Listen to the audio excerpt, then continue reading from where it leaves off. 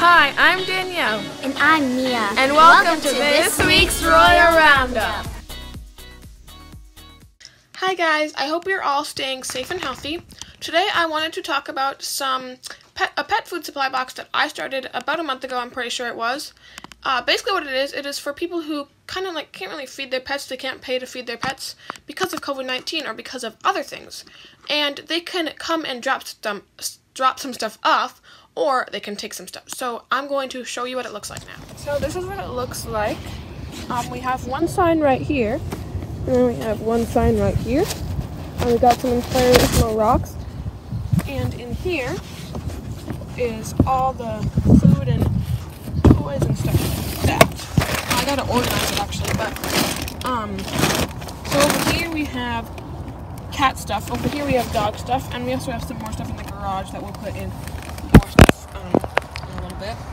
But basically, how I promoted this is I uh, put it on, ne- on an app called Nextdoor, and I also put it on my Instagram.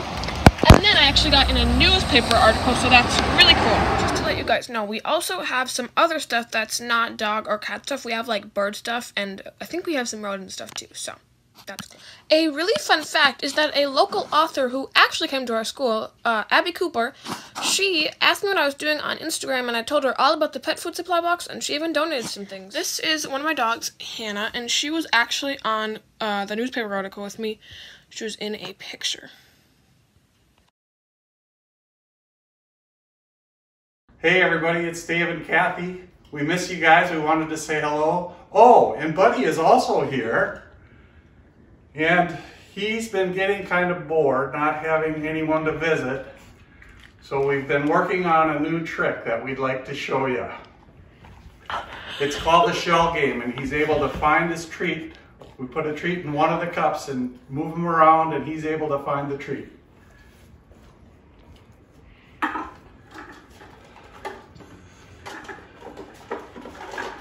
Here, bud.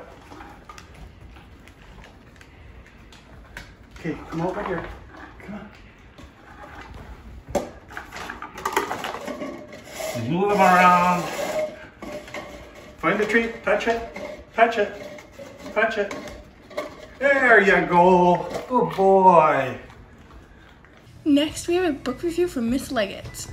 Guts is one of Raina Telgemeier's latest books, a companion to books like Smile and Sisters.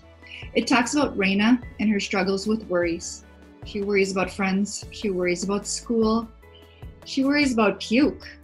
This book is one of the best depictions of how anxiety feels that I've come across in young adult literature. In these times when we're all feeling stressed, I think we all can connect with how Raina is feeling. Guts by Raina Telgemeier. It's time for the pride drawing. Caleb Cook, grade 7. Debbie Herman, positive, excellent. Naima Muhammad, grade 9. Nurse Anne, for being determined. Victoria Martinez, grade 7. Markinson, determined. Sarah Muhammad by Lee, for being determined, grade 7.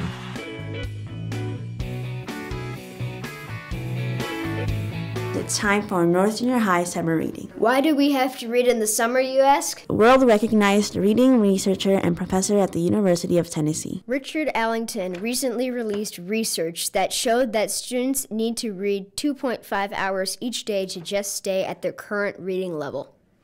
What does that mean for you? If you don't read over the summer, your reading ability actually declines. Then we have put together a list for you of awesome books. Take a look. Upcoming 7th graders will read four books this summer. And upcoming 8th graders will read five books this summer. Upcoming 9th graders will read six books this summer. Better get reading soon. Each grade level has an assignment, so be on the lookout. This year, English teachers will post assignments on their landing page the last week of May. Assignments can also be found on the NJH website. Assignments are due the first week of school. That's it for this week's Royal Roundup. Thanks for watching.